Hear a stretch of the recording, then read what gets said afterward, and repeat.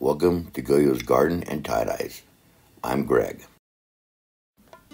Alright, today we will be doing a 58 by 58 tapestry. It's folded in half and folded in half again. And I'm going to make a paper airplane out of it. One thing I've noticed, I've never folded a tapestry twice the same way, I don't believe. Uh, keep forgetting which way to do it, but then I'm in the middle of it, don't want to go stop and watch a video, so I just kind of ad lib. I think there's a lot more steps than what I just did, I'm not sure. But anyway, this is what I'm doing.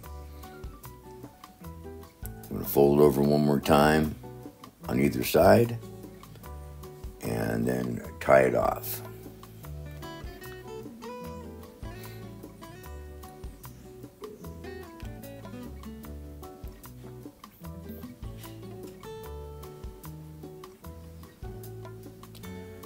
Get as smooth as I can, but I'm gonna strap out the end here real quick. I want to try to do some kind of little design, but I still can't get the folds on those properly. But I'm to keep on trying. I keep having an idea in my mind, and then I'll go out there and stand at the table and tap my fingers and just start tying it. Definitely have to get a set plan here. But then they turn out different every time, so that's a plus also.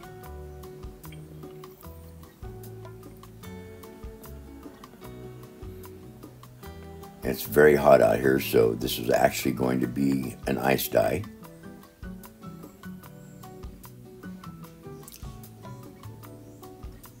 I can't remember if I've ever done tapestry ice dye.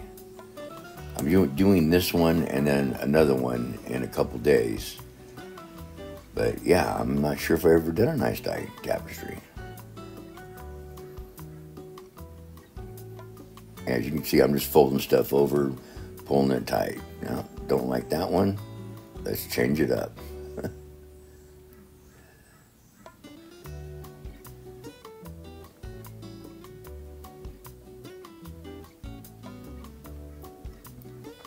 Like I keep saying, and what everybody else keeps saying, it's tie-dye. It's, uh, it will be different every time, no matter how I tie it anyway might get close to the same pattern, but it's never exact. And one thing I can't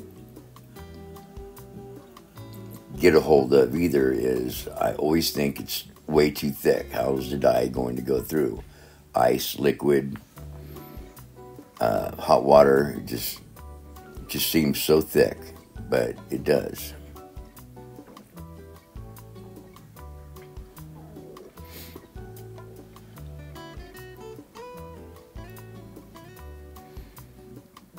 I guess I'm gonna have to just get a shirt and practice the honeycombs. I'd really, really like to be able to learn how to do that. So, might as well get a shirt and tie it up. And if you don't like it, untie it, do it again.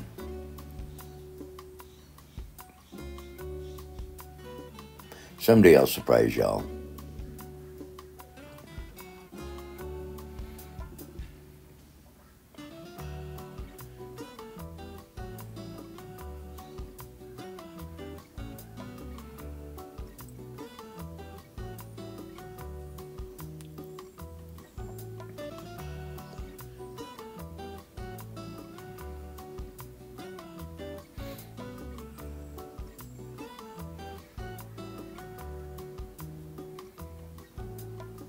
I'm not trying to play cowboy or nothing. I've got the bandana around my neck because the back of my hair keeps dripping with sweat. It's like I said, it's very hot out.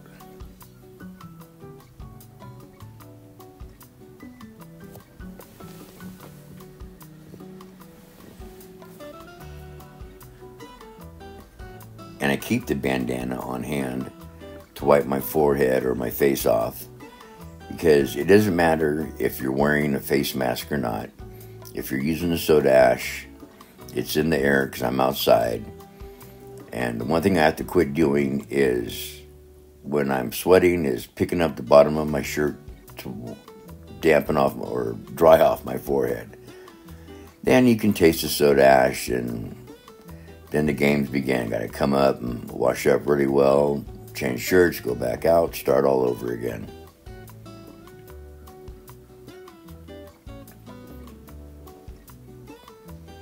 I said, each time you do something with tie dye, you learn. I don't think there's a project that I've done that I haven't learned something from it. Now, if I remember what I learned when I try it again, that's a whole different story.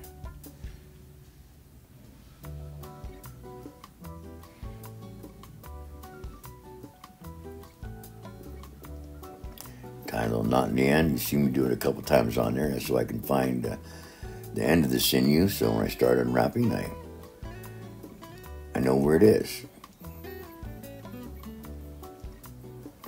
Okay, so we're going to start with dyes, or the dye. And the first one we're doing is lemon yellow.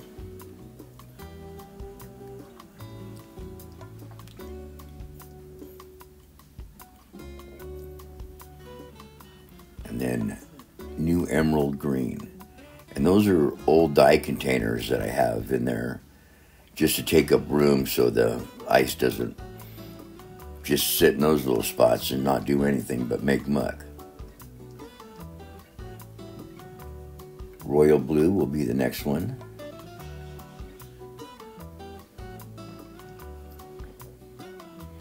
And now this next one, I don't know, uh, Chamos, Chamos, I don't know, C H A M I or C H A M O I S. Don't know how to pronounce it. Somebody can let me know. Well, I just read it and pronounce it the same, right? All right, Fire Red's our next one.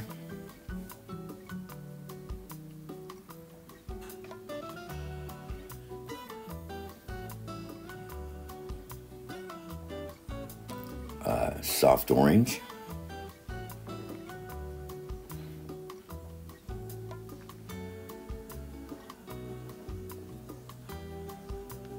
Finish it off with some razzle dazzle.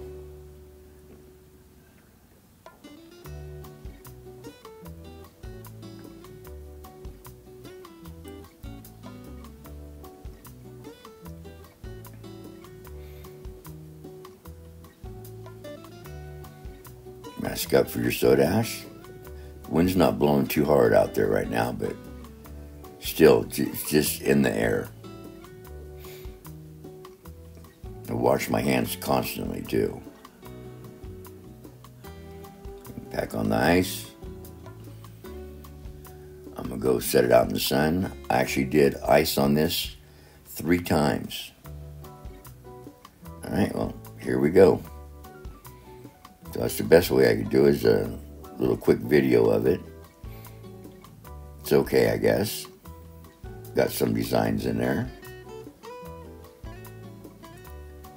And there's just a still shot. Said they're fun to make. I just wanted a bunch of color. And I got it.